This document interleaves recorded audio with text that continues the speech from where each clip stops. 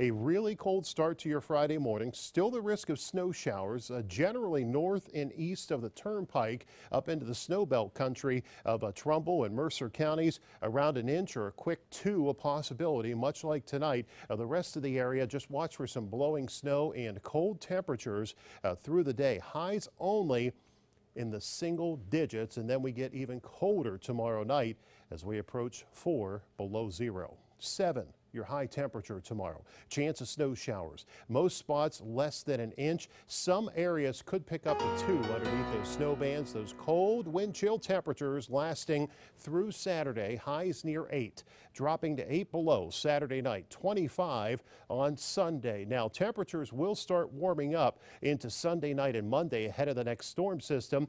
That will bring a wintry mix into early next week. And then once it moves out, the temperatures start warming up back into the 40s by next Thursday. That leads right into our trend tracker here because a little good news.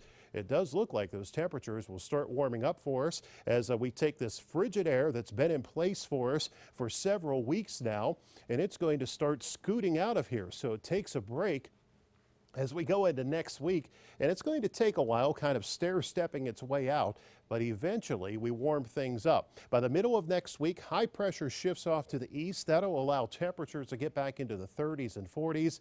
Late next week into the weekend, I'm looking for a storm system to move through and going to have to keep a close eye on this one with the track. If it moves farther north, we'll see more rain. If this slides just to our south, we could see a decent dose of snow out of this. Somewhere in between, we're into an icy mix. Once that passes by, as we head toward the 15th there into the early part of the third week of the month, a little bit cooler with temperatures in the upper 20s. So we're not going to get right into those warm temperatures. But once this moves off to the east, that opens the door for that true January thaw pushing in our direction, and temperatures will push into the 40s here as we head into the 17th and 18th. And I wouldn't be surprised if we don't get into the 50s as we keep on going. So trend tracker warming next week, uh, the 12th through the 14th weekend, watching for a storm. That wintry mix is a possibility. Overall, we will be going into a true January thaw here into the middle and latter half of the month. And yes, better weather too. It looks like some sunshine and actually some nice weather with mild temperatures in the near future.